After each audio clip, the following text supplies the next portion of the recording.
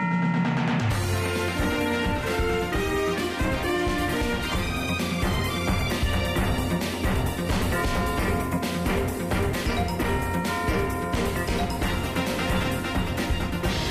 back here on First Up, the first stop in your busy day. Seven minutes after eight is our time on this Thursday morning. It's Thursday, the 27th of May. It's the third hour of our simulcast, and we just want to encourage you to continue being a part of the show. Keep sending in your text messages at 78247. Just type in talk, leave a space, type your message, and send everything to 78247. And uh, if you have your cabinet picks, please keep sending them because before the show is over today, uh, I'm going to read out what people have been sending us on, on our text message uh, site in terms of what their cabinet picks are. Right now, though, we want to get back to the business of the news making here on First Up.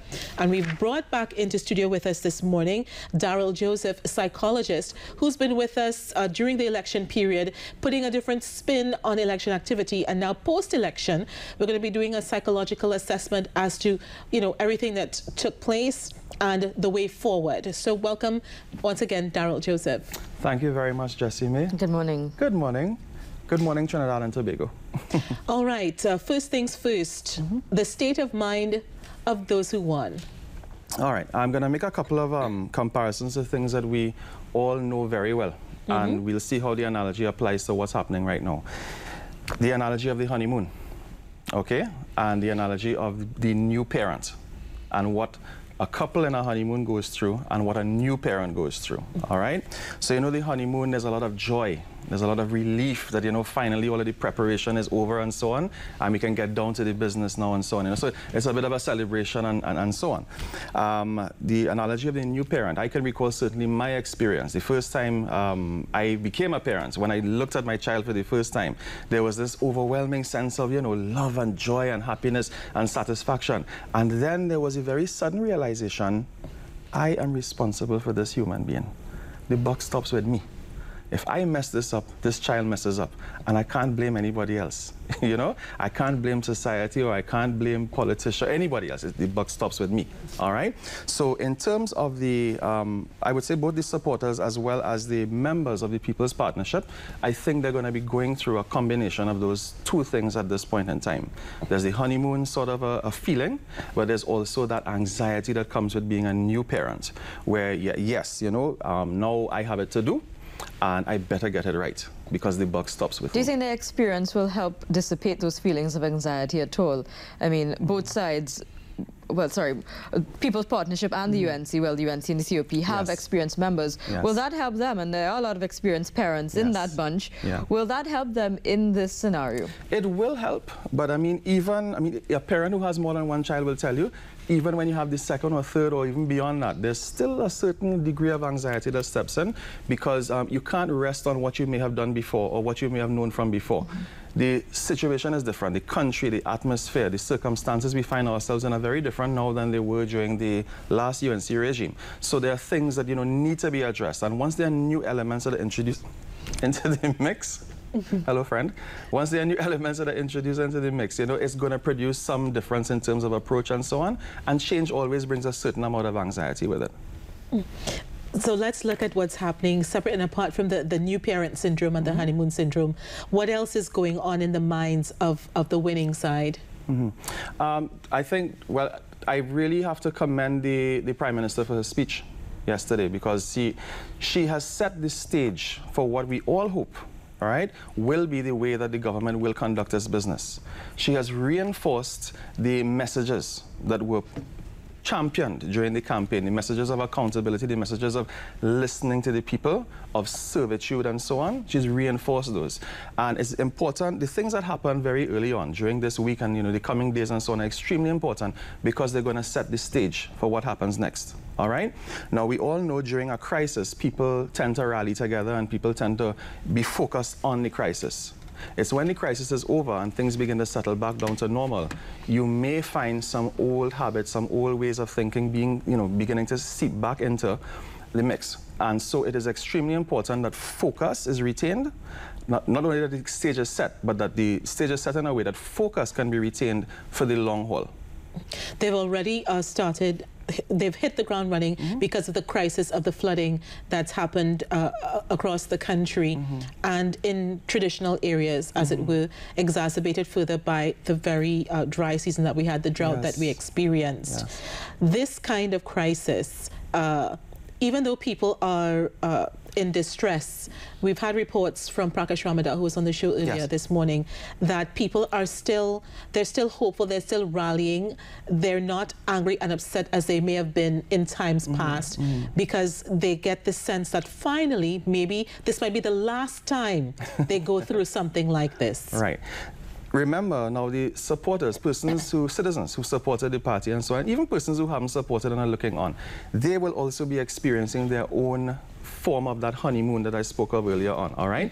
So you may find people may have a little bit, you know, they may go a little bit easier in terms of, all right, government just came in. You can't expect them to change things overnight. So yes, you know, we'll deal with this flooding thing now, um, and hopefully, you know, it's going to be resolved and it will not happen again in the future.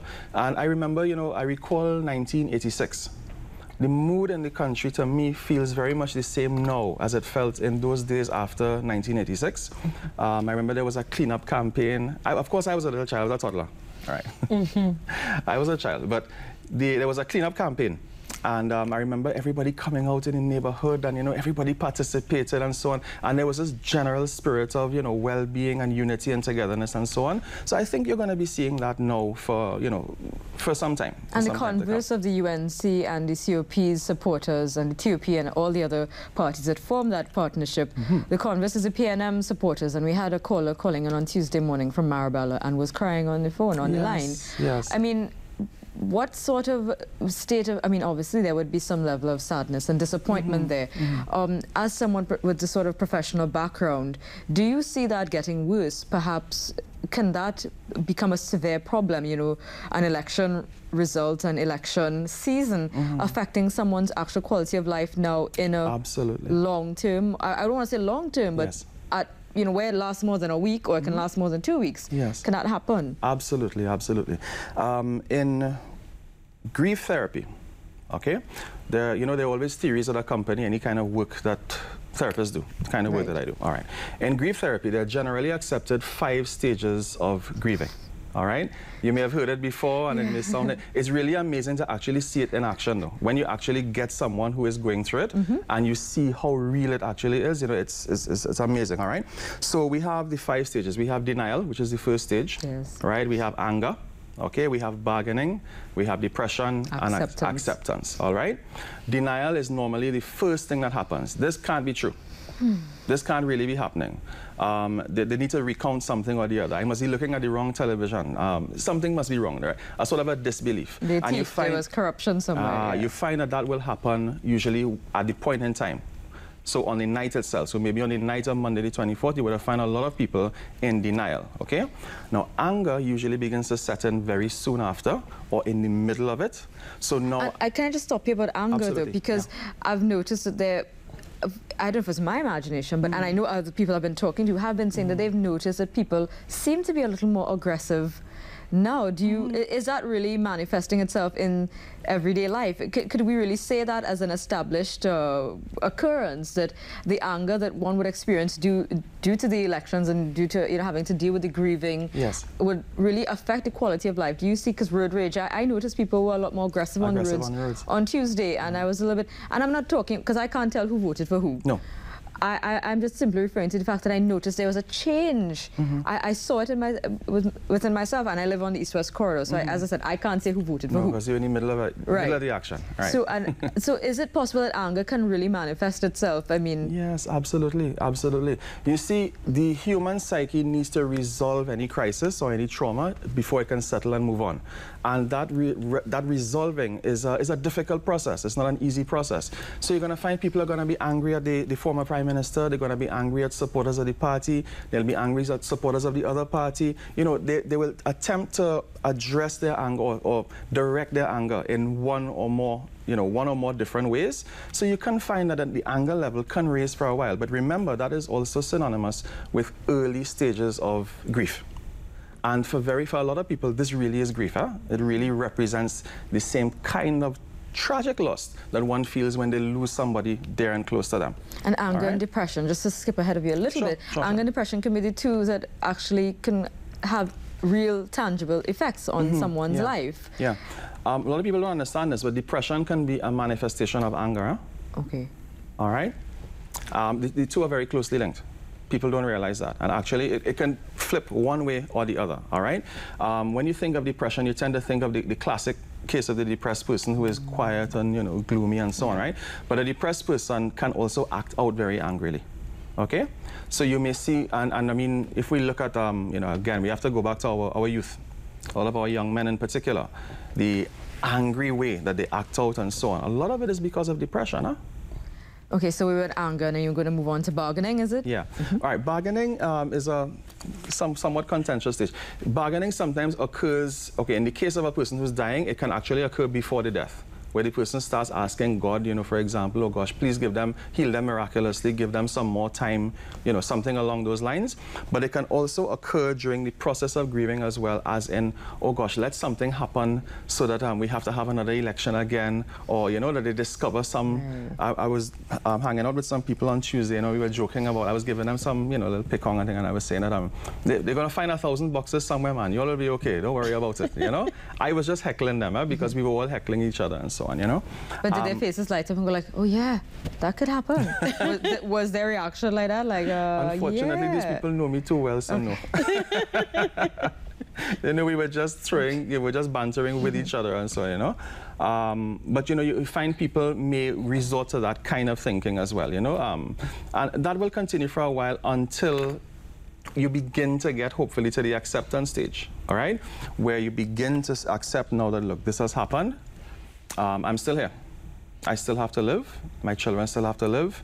Uh, I have to do the things that I had to do last week and the week before that, and I need to come to terms with this and move on. Was there a depression stage, or was it uh, denial, depression is anger? The fourth one.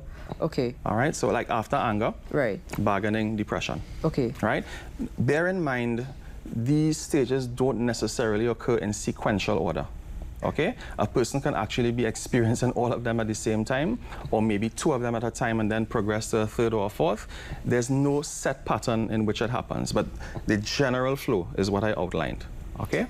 Let's look at what's happening inside the uh, People's National Movement, mm -hmm. that political party. Mm -hmm. We're seeing signs uh, in some quarters of denial. Mm -hmm. We're also seeing some people depressed and acting out mm-hmm. angrily. Yes. Uh, we're also we're also seeing real anger, mm. um, I don't think they've got to the point of bargaining or acceptance yet, or there's a bit of acceptance. But what what are you what are you what are you seeing based on based on what we're hearing in the news? Yes. Um, let me just pick up on a little comment that I heard. Huh? I heard a comment, and I can't quite remember exactly who it was who said it, but I heard a comment that um, you know, the swing in votes was rather strange. Right? I heard that comment more than once from more than one individual, you know, on the opposition side. Mm. And, you know, in the back of my mind, I was wondering if that was somehow a manifestation of maybe that same denial that denial, we've been talking yeah. about. You know, that not an out-and-out um, accusation, but, you know, an attempt to deal or come to terms with the magnitude of what has happened. And I actually remember seeing a similar thing happen in the past on the other side. Mm -hmm. right? I remember, you know, very early accusations about maybe tampering or padding, padding, or something yeah. like that, you know, as opposed to trying to get down to the business of figuring out what exactly happened and why did it happen and what do I need to go forward from here. But it is part and parcel of the whole Because you choose, process. it's sometimes better to blame someone else than accept that perhaps, you know, I was at fault here. It's easier. And what we did as a party was it, or, or what I did as an individual mm -hmm could have contributed to this. It, it probably was T-Foods or something. It couldn't be that, you know, that what we, you don't take responsibility then. Not yes. saying that anyone needs to take responsibility for mm. anything, that anyone has done anything wrong, yes. but I'm just saying. Uh, what I want to ask you about uh, Mr. Manning. Yes. Could he be a recipient of post-traumatic stress, sort of? What, what, would his mindset be like, having gone through what he's gone through? I mean, mm -hmm. he's a man that's right now, I, I, don't think anybody would probably want to be in his shoes at all. No, not at all. I certainly wouldn't want to be. Um, Mr. Manning is a, a particularly um, strong individual in the sense that he doesn't often allow his feelings to show. Mm -hmm. All right? He tends to, you know, he, he says what he is supposed to say. Let's put it that way, all right? And, um, you know, he puts forward this, you know, th this image of being, you know, extremely in control of his emotions and, you know, not being swayed and so on. But he's a human being. And he, despite his great ability to do so, I think everybody could have seen on the night of the election, you know, you could have seen the remorse and the sorrow and the shock and everything we've been talking about. You could have, for the first time for, you know, for many people, you could have actually seen it, okay? Poker face was gone. Yeah, yeah, yeah. Mm -hmm. I mm-hmm. cannot imagine that this is an easy time for Mr. Manning right now at all. Let's look at what's happening with Mr. Manning now. Mm -hmm. I mm-hmm. mean, this is uh, uh, uh, there's no way to describe the change that has come into his life at this point in time. Mm -hmm. He was one thing one day, and the next day he has become something else. It's as though someone pulled the rug out from under him while he was sitting in the chair. Yes. So he's literally flat on his back. Yes. Um, he's going to need some therapy, isn't he? To help make the transition from that life mm -hmm. into the new one that he must head into. I would humbly say so he needs to be speaking to somebody. I don't know who that person is, but he needs to be speaking with somebody. Um, I think an experience like this is, is too large and too traumatic of an experience to simply sit down in your own chair, you know, and just sit down and kind of mull it over and think it through and so on. You need to voice these things and to, you know, to bounce the ideas off of somebody at least, right, in order to come to some kind of resolution of it. I think what, what was um, really telling for me was that, um, there was, you know, politicians say all sorts of things during an election campaign, but then usually afterwards, you get to see a little bit more of what they were really thinking. All right?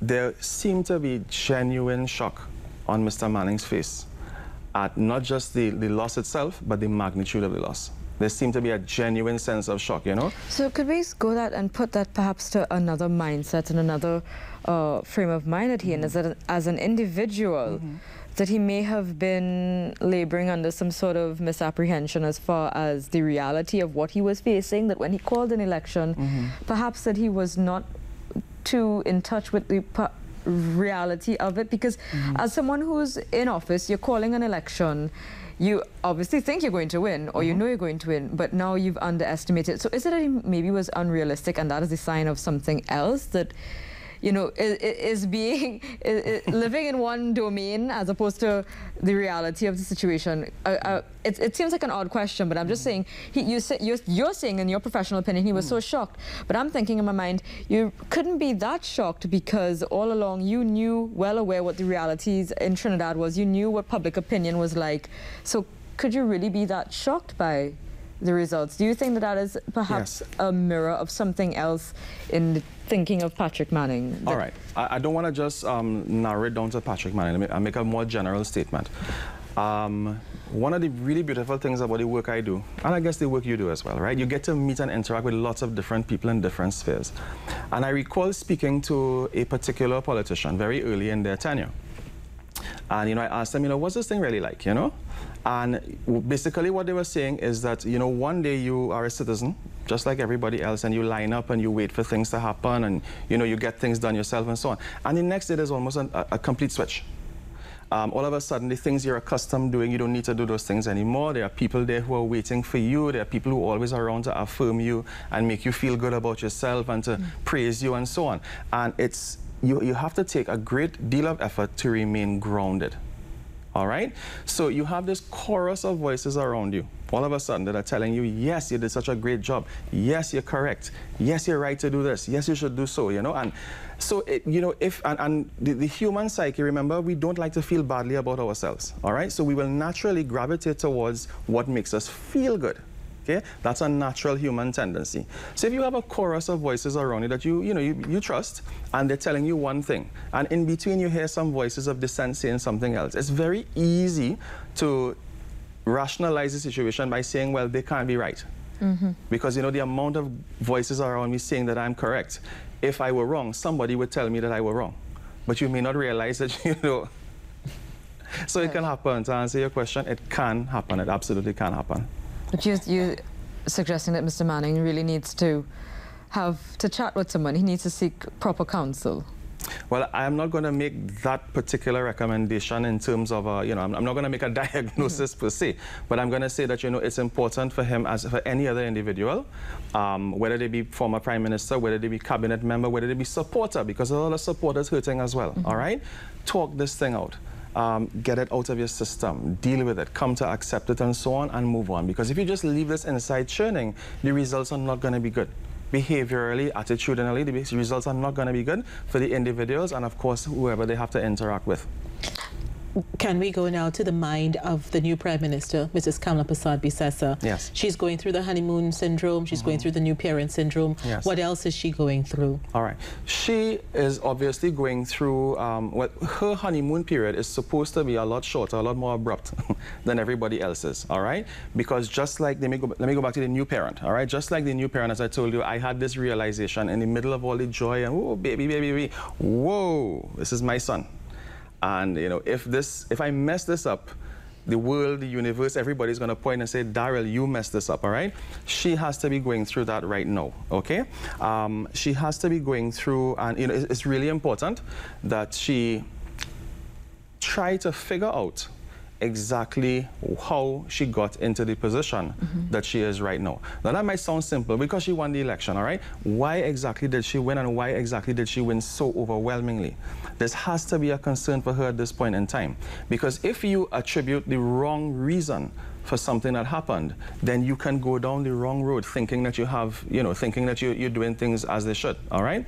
So um, I think, you know, a lot of these questions about exactly why things happened the way they did are going to be going through her mind. I think there's also going to be questions about um, the concerns raised during the campaign about the stability of the, the partnership team.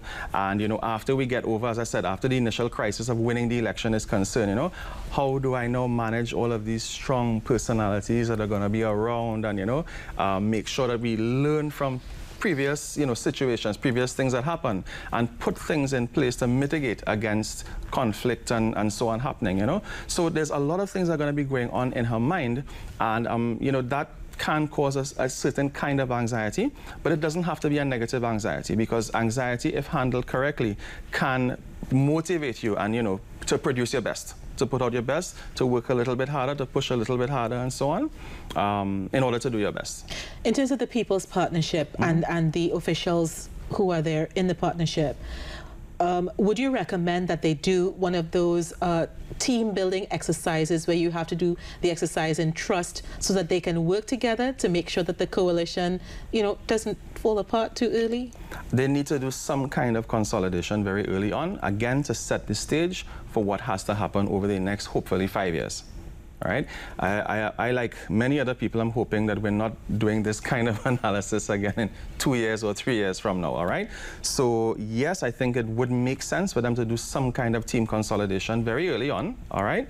Um, of course, not to deflect from doing the people's work, which is important. You know, they need to go out and attend to the flooding and things that are happening. But some kind of team consolidation should take place very early to set the stage, to make sure that everybody's on the same page, to make sure that they have proper mechanisms for dealing with issues and conflicts as they arise and so on, and so that everybody can get, as you were saying, a sense of trust, all right? A sense of, you know, we're settled, we're one team, and we're moving forward. Get out of the election, um, the election thinking or the, the election. The election is over now, all right? So we need to move forward now as government doing the people's work let's look at the, the former prime minister and the current prime minister. The former mm -hmm. prime minister was cast as a father figure. Mm -hmm. The current prime minister is cast as a mother figure. Mm -hmm. People are saying we had a father before uh, running things. We need a mother now yes. to do things differently. Yes. Is that an unfair weight or burden to put on any of those leaders? No, I don't think so at all. Um, because of our system, well, I mean, our system, just like many other, most other countries, you know, we have usually one person who is identified as the head. And just like in a home, um, you may have two parents, but usually one parent or the other may be more identified as the head of the home, okay? So in Trinidad and Tobago, we have had a father for a number of years, for a very long period, and now we have a mother. I think the analogy is appropriate. I think it is correct. And I think it's also quite good for the leader to think of themselves in that way. Because if you can, I mean, there's certain things about mothers that, let, us let's talk about mothers a little bit, right? Mothers generally are more nurturers, okay? Um, generally the ones that spend more hands-on time, you know, caring and looking after and so on. Not that fathers don't do those things. We'll discuss that another another time. Another yeah. time, all right? Mm -hmm. But mothers generally are, you know, the more nurturing ones, the more hands-on and so on, okay? Um, probably the climate that we find ourselves in right now, that's what's needed, huh? That's what's needed. People need to feel that touch. They need to feel a little bit held, a little bit, you know, looked after and cuddled and so on in order for us to regain our um, composure and our sense of, you know, settled, you know, feeling settled and able to move on and, and do the things that we need to do. Daryl Joseph, thanks for joining us on set this morning mm -hmm. on mm-hmm. First Up, and thanks for putting a different spin on elections 2010 and its aftermath. We are going to go to a break now. When we come back, we'll have a little more news making here on First Up, so stay with us.